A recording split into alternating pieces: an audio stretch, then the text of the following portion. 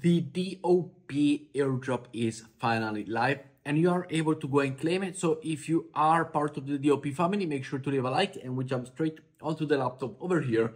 And the link to be able to claim it will be down below. And this was a free to earn airdrop. So me personally, I got 3,600 points. Let me know yours down in the comments below. How many points you got?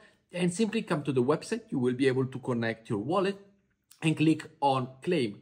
Once you will be able to click on claim, it will be opening this page and you will be able to open up a tab. Now, remember there are gas fees and it is on Ethereum. The one that I'm looking at right now, $11 is actually really, really good in terms of gas fees but I am doing this at a later time throughout the day. So if you want to have the cheaper gas fees, either do it at an early time or on a later time where people are not really utilizing the blockchain. So don't do it in the full on afternoon at 4 p.m.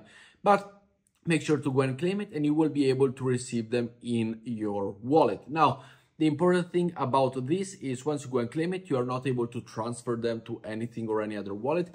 This is to prevent also small exchanges or exchanges to list a token with little liquidity and, you know, make it go skyrocketing. So for that one, I will let you know, but go and claim it for now. There is the cost of the Ethereum token and the, you know, the gas fees. Let me know how much do you think this airdrop will be worth with me going 3000 or whatever you got if you got a calculation of what it could be let me know down in the comments below what the price prediction could be but talking about the dop testnet and the token airdrop you shouldn't fade free airdrops to earn because this was a free airdrop to earn now let's just hope that it's gonna be more than at least the ethereum gas fees you know, one dollar token would be amazing, 10 cent a token would be great, but we will see that. Let me know that I think 10 cent a token could be realistic for this one. Let me know down in the comments below.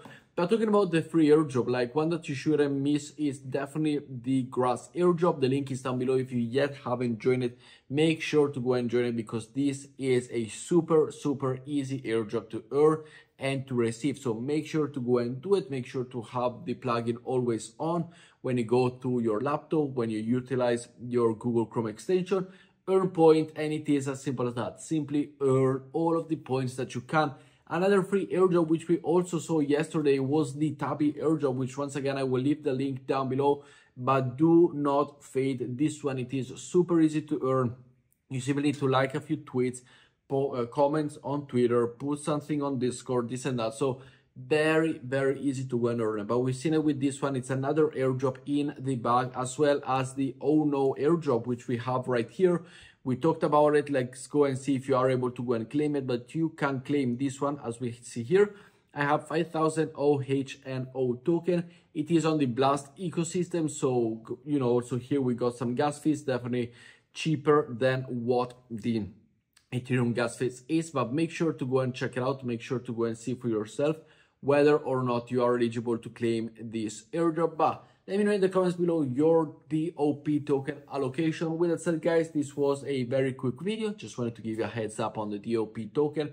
Leave a like, subscribe, let me know down in comments your allocation. And with that said, we'll see you all in the next video. Ciao, guys.